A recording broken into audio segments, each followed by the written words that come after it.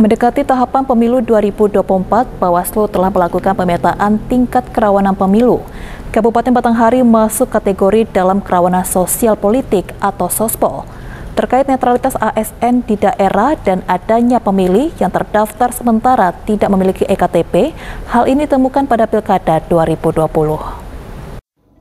Tingkat kerawanan pemilu di Batanghari masih cenderung tinggi, netralitas ASN menjadi sorotan dalam kriteria kerawanan pemilu. Bahkan ranking kerawanan dari hasil survei mencapai 97,5 persen. Dengan dinominasi terkait netralitas ASN, serta proses penyelenggaraan yang ditemukan pemilih adanya pemilih yang tidak memiliki KTP elektronik namun bisa melakukan pencoblosan.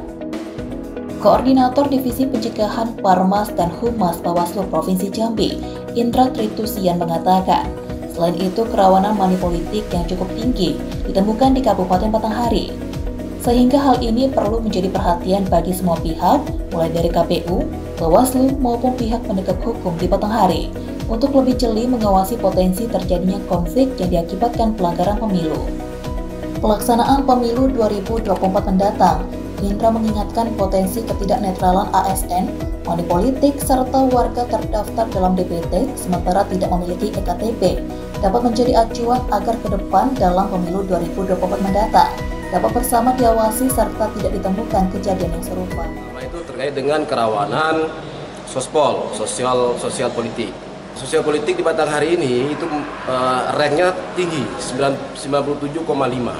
Kerawanan netralitas ASN yang pertama. Yang kedua, terkait dengan domain penyelenggaraan. Penyelenggaraan ini e, memang sedang, tetapi terjadi di Batanghari.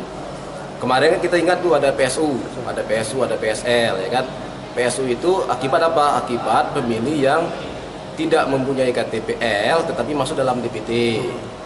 Kemudian yang ketiga domainnya kontestasi. Ya, nah, kontestasi ini tentang laporan money politik terjadinya money politik walaupun sebenarnya uh, kasus money politik di Batanghari ini secara kuantitas memang banyak tapi sampai ke tahap penyidikan memang tidak ada tapi kan proses-proses ini saling lapor dari pihak uh, masa A dengan masa B ini biasanya kan menimbulkan konflik sosial